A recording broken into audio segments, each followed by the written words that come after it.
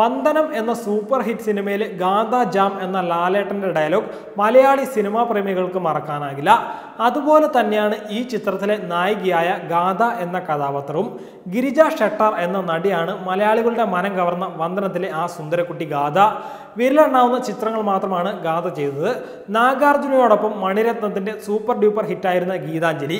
മോഹൻലാലിനൊപ്പം പ്രിയദർശന്റെ വന്ദനം പിന്നെ തെലുങ്ക് ചിത്രമായ ഹൃദയാഞ്ജലി. ഈ ചിത്രങ്ങളിൽ അവിസ്മരണീയമായ അഭിനയ മുഹൂർത്തങ്ങൾ പകർന്നു നൽകി ഗാഥ മടങ്ങി. എടുത്തു പറയാവുന്ന അനേകം അനേകം അവസരങ്ങൾ വേണ്ടെന്ന് വെച്ച് നല്ല പ്രായത്തിൽ തന്നെ ഇന്ത്യൻ സിനിമയിലെ ശ്രദ്ധേയമായ സ്ഥാനം വേണ്ടെന്ന് വെച്ച ആ കുട്ടിയുടെ പേര് ഗിരിജ ഷെട്ടാർ. ഈ സിനിമകളിൽ അഭിനയിച്ചപ്പോഴേക്കും ഗിരിജ ഷട്ടർ എന്ന ഗാഥ ആരാധകരുടെ പ്രിയ നടിയായി മാറി. പിന്നെ മലയാളി പ്രേക്ഷകർക്ക് ഗാഥയെപ്പറ്റി വിവരമൊന്നുമില്ലായിരുന്നു. മലയാളിയല്ലെന്ന് അറിയാമായിരുന്നെങ്കിലും ഗാഥയെ മലയാളി കുട്ടിയായി തന്നെ പ്രേക്ഷകർ കരുതി. വന്ദനം എന്ന സിനിമ മലയാളി സിനിമാ പ്രേമികൾക്ക് എന്നും നൊസ്റ്റാൾജിയായിരുന്നു സിനിമ വിട്ട് പ്രൊഫഷണൽ രംഗത്തേക്ക് പോയ ഗിരിജ ഷട്ടാർ എഴുത്തുകാരി ബ്ലോഗർ പത്രപ്രവർത്തക എന്നീ നിലകളിലും ലോകപ്രശസ്തിയാണ്. ഗിരിജ ഷെട്ടാറിന്റെ പിതാവ് കർണാടകക്കാരനും അമ്മ ബ്രിട്ടീഷുകാരുമാണ്. പതിനെട്ടാം വയസ്സിൽ ക്ലാസിക്കൽ നൃത്തവും ഇന്ത്യൻ മതങ്ങളെയും പഠിക്കാൻ വേണ്ടി നടത്തിയ സന്ദർശനത്തിനിടെയാണ് സിനിമയിലേക്ക് വരുന്നത്. സിനിമാഭിനയം നിർത്തിയ ഗിരിജ തന്റെ പഠനവും അന്വേഷണവും മുഴുമിപ്പിച്ച ശേഷം ലണ്ടനിലേക്ക് തന്നെ മടങ്ങി. പത്രപ്രവർത്തകയും എഴുത്തുകാരിയുമായി ജീവിതം മുന്നോട്ട് നീക്കി.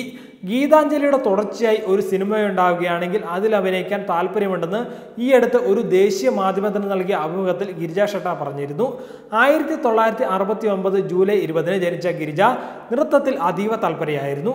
ആയിരത്തി തൊള്ളായിരത്തി തൊണ്ണൂറ്റിയെട്ടിൽ മണിരത്നത്തിന്റെ ഗീതാഞ്ജലി എന്ന തെലുങ്ക് ചിത്രത്തിലൂടെയാണ് ഗിരിജ ചലച്ചിത്ര ലോകത്തേക്ക് കടന്നു വരുന്നത് പ്രിയദർശൻ ഗിരിജയെയും മോഹൻലാലിനെയും നായിക നായകന്മാരാക്കി ധനുഷ് കോടി എന്ന പേരിൽ ഒരു ചിത്രം എടുക്കാൻ തീരുമാനിച്ചിരുന്നു.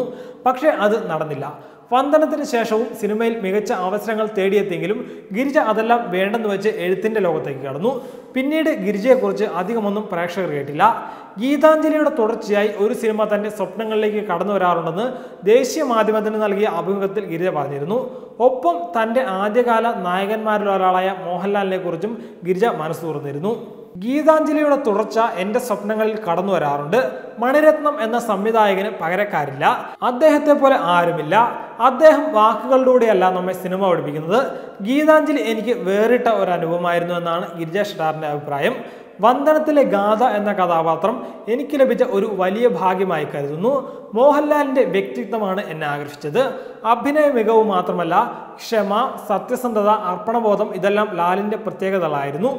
ബുദ്ധിമാനായ നടനാണ് അദ്ദേഹം. അദ്ദേഹത്തോടൊപ്പം ജോലി ചെയ്യുന്നത് എളുപ്പമായിരുന്നുവെന്നും ഗിരിജ ഷെട്ടാർ പറഞ്ഞു. ഗാഥാ ജാം രംഗം കേരളത്തിൽ ഇന്നും തരംഗമാണെന്നറിഞ്ഞ ഗിരിജ ചിരിയോടെയാണ് അത് കേട്ടത്. എനിക്കത് അറിയില്ലായിരുന്നു പ്രിയദർശന്റെ കാഴ്ചപ്പാട് പുതുമയുള്ളതായിരുന്നു. ആ ചിത്രത്തിലെ എല്ലാ അഭിനേതാക്കളും കുടുംബം പോലെയായിരുന്നു. അത് തന്നെയാണ് ഓരോ രംഗവും മികച്ചതും രസകരവുമാകാൻ കാരണം. മോഹൻലാലിന്റെ നിഷ്കളങ്കതയും എന്റെ കഥാപാത്രത്തിന്റെ വാശിയുമാണ് ആ രംഗം ഇത്രയും രസകരമാക്കി തീർത്തതെന്നും ഗിരിജ ഷെട്ടാർ പറഞ്ഞു. Web desk Tatwamayi news.